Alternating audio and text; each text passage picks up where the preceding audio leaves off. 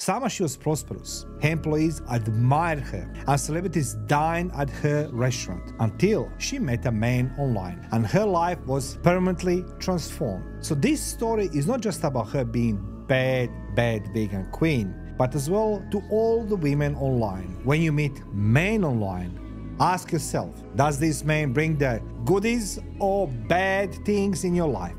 Now, the question it is for all of you to ask yourself, how the rich, successful businesswoman become the con artist and fugitive?